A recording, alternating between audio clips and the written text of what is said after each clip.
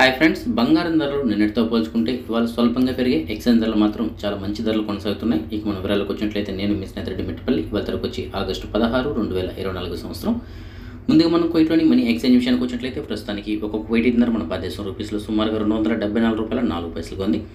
బంగారం విషయానికి వచ్చినట్లయితే మాలియాలో ఉన్న సూకల్ అనేటువంటి షాప్ నెంబర్ నూట ఇరవై ఒకటిలో ఉన్న ఎఫ్కే జ్యువెల్స్ వాళ్ళు మనకు అందించిన సమాచారం మేరకు ఇరవై రెండు క్యారెట్ల బంగారం ప్రస్తుతం ఒక గ్రామ్ ధర ఇరవై రెండు దినారుల నాలుగు వందల ఇరవై తొమ్మిది పిలిసి ఉంది. అదే ఇరవై నాలుగు క్యారెట్ల బంగారం అనగా బిస్కెట్ల రూపంలో ఉండే బంగారం ప్రస్తుతం ఒక గ్రామ్ ధర ఇరవై నాలుగు దినారుల నాలుగు వందల యాభై తొమ్మిది పిలిసి ఉంది. ఫ్రెండ్స్ ఎఫ్కే జ్యువెల్స్ వాళ్ళు ప్రస్తుతానికి ఒక స్పెషల్ ఆఫర్ కూడా ప్రకటించున్నారు బంగారం పైన మేకింగ్ ఛార్జెస్ అంటే కూల్ అయినట్టు కదా? సో ఆ కూల్ అయినటువంటిది లేకుండా కొన్ని సెలెక్టెడ్ ఐటమ్స్ పైన ఆఫర్ ప్రకటించారు ఇవాళ ఇవాళ మరియు రేపటికి. అంటే ఇవాళ రేపు ఎవరైతే ఎఫ్కే జ్యువెలర్స్లో బంగారం కొంటారో అలాంటి వారికి కొన్ని సెలెక్టెడ్ ఐటమ్స్ పైన కొన్నిటిపైన జీరో ఉంటుంది కొన్నిటిపైన రోబా దినారు కొన్నిటి వరకు నూజినార్ ఉంటుంది. అంటే మ్యాక్సిమం నూజినార్ నూజినార్ దాటి అయితే కనుక మేకింగ్ ఛార్జెస్ ఉండదు. కాబట్టి ఎవరైనా బంగారం కొనాలనుకున్న వాళ్ళు ఉంటే కనుక ఇప్పుడు కొనుక్కున్నట్లయితే మీకు మంచి ధరకే వస్తువులు అయితే కనుక లభిస్తాయి.